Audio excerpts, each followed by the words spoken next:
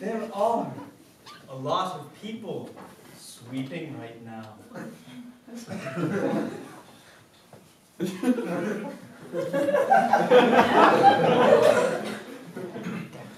This reminds me of Tuesdays. I understand.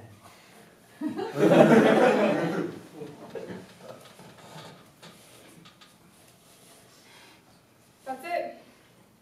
I can't do this anymore. Joseph, you are not being overt, are you? You're damn right I'm being over. Joseph! We took vows. Are you being overt? Perhaps not. I know we took vows of subtlety, but I'm just sick and tired of not being able to say what I mean anymore. Alas, the crisp apple becomes wrinkled like the toad. That's exactly what I'm saying. Too often does the calf bear milk like the cow. Don't you dare bring my mother into this.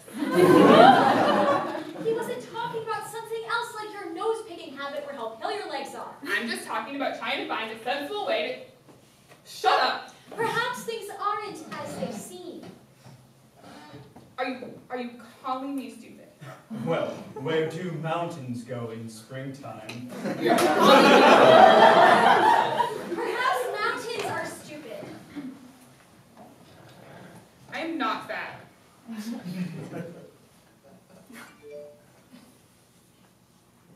I'll have you know, I've had plenty of, of significant others. Our gardens are like the needles on a pine tree. Oh yeah, and you think you get so much ass because you're so subtle? You two aren't even subtle, you're just passive aggressive. That's different. Well, mine doesn't grow near the equator. I know you're sexually frustrated, David. But just try to remember that a harvest does not struggle to be right, but one can make a safe home in a mind that has no ore. She has a point. Yes, I, I, I suppose she does. Sometimes it's nice to just say it outright. You're right, it does feel kind of good. Let's just say it.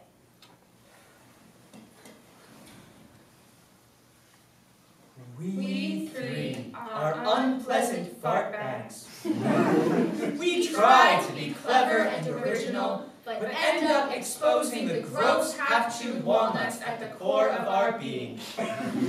We do this because we are afraid, afraid of what might happen if we let ourselves live, afraid of what we are, afraid of what we might become.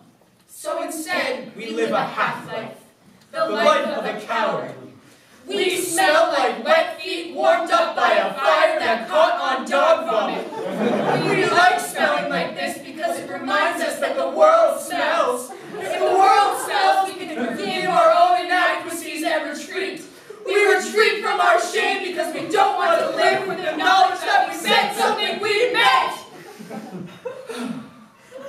does feel good.